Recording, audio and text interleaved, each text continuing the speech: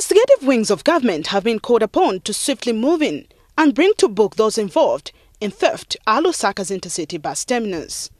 This follows reports that key suspects in the matter are on the run.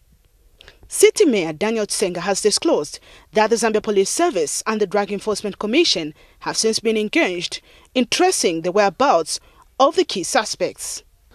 Uh, it's unfortunate that uh, the key people in the scam have, have, have, have been on the run, but uh, we are on the ground working with the police to ensure that uh, they are brought to book. And uh, I can assure you that uh, we are going to take stern action so as to deter would-be offenders even in other markets and stations that we have so that they learn from their colleagues at Intercity. Auditors at the Lusaka City Council have reviewed a report that has suggested that more than 4,000 receipts have mysteriously gone missing at the country's biggest bus terminus.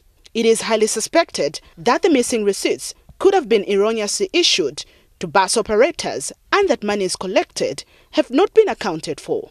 Several other receipts, which are currently out of range, are said to have been used in January 2014. Cashiers and purchasing supply officers are being probed in connection with the fraud that has taken place since November last year. Mwapek Mwenda, Movie TV News, Lusaka.